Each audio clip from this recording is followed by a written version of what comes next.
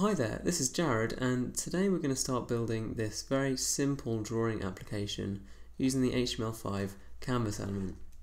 As you can see it's a whole lot of fun so let's get started. The first file you're going to want to make is your index.html file so let's create that and open it up.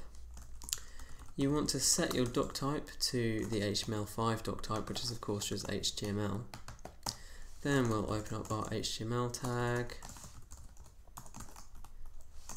open up a head,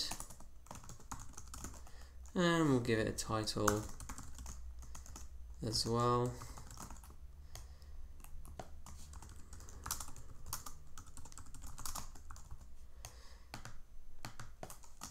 I'll open up our body. And then we're going to make our canvas element.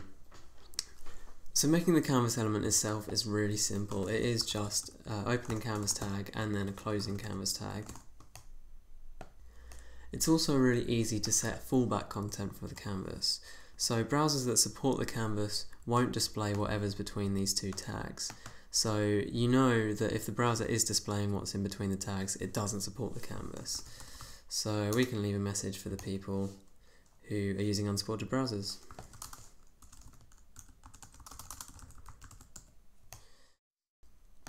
Next we're going to want to use our script tag to include a JavaScript file. So we're going to say, we're going to call that file main.js.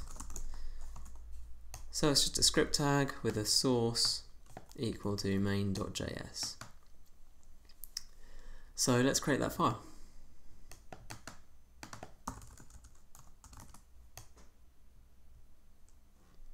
First thing we're going to want to do is create a few variables to make it easier to interact with our canvas. So the first variable is just going to be called canvas and it needs to select the element that we're using as our canvas. So we're going to give this canvas an ID of canvas just for simplicity and then we're going to set this equal to document.get element by ID and then canvas. Now if you've worked with Canvas before, you'll know that most of the interaction with it comes through what's called the context. So we create this variable, doesn't have to be called context, but I'm going to be calling it context. Then we say canvas, which is this variable we've just set up here, dot get context 2D. Next thing we're going to do is set the width and the height for the canvas. Now I want this canvas to span the entire width of the window and the entire height of the window. So I'm going to say canvas dot width and I'm going to set that equal to window dot inner width which is just the width of the window.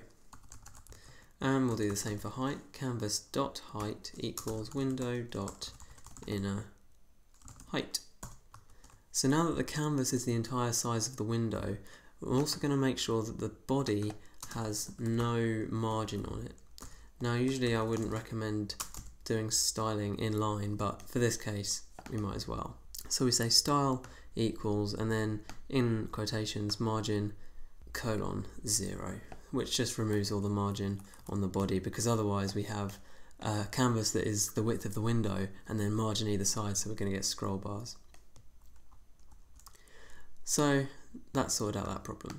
So now we have full screen canvas. The next thing we're going to do is add an event listener to the canvas. To do that we say canvas dot add event listener and we're going to attach this to the mouse down event for now and pass it a reference to this function put point. Now this is a function that we're about to create. What we want this function to do is to put down a circle wherever the user clicks their mouse. So we're going to create a function, obviously call it put point, spell it right as well, make sure, equals function, and we want it to take a variable, a parameter, sorry, called e. Now event listeners will always pass as the first parameter to the given function it will pass the event object. Now that event object includes details about the event, so like where it took place, so we can find out where the click was on on the screen in relation to whatever you're adding the event listener to. So the event listener will always pass that as the first parameter. All we're doing here is giving it a name so that we can use it. Now we want this function to place a circle at a given point, and for that we're going to need the context.arc method. So let's have a look at how this works. So the context.arc method takes five parameters plus an optional sixth. So the first two just define the center point of your arc. So that's this point here. The second is the radius of your arc. The third is the start angle in radians. Now if you're used to working with angles in degrees and don't understand the concept of a radian, then basically a radian is one radius's length around the edge of the circle.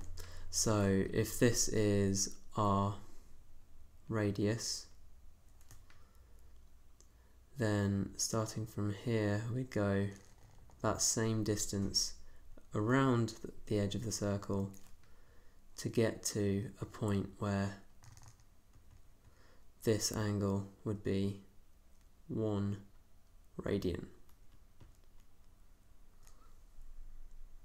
Okay, so if you don't quite understand that, there's plenty of information online to help you. So this particular start angle would be 0 radians and in HTML5, 0 radians is always the rightmost point on your circle. And this endpoint is, let's say, roughly 2 radians.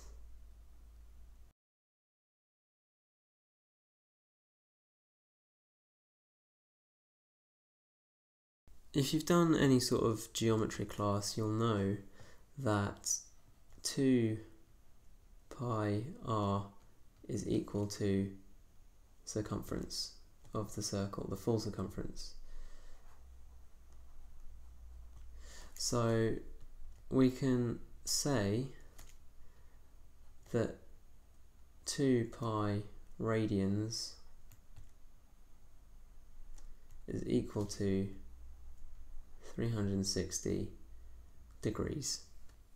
And that's a really useful thing to bear in mind if you're trying to get used to the idea of radians.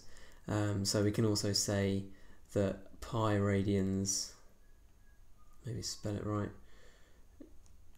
is equal to 180 degrees and half a radian is 90 degrees. So hopefully that makes some sort of sense. The final parameter this anti-clockwise parameter is just saying which direction you're going to go to get from the start angle to the end angle. So by default it goes clockwise and this, so this defaults to false.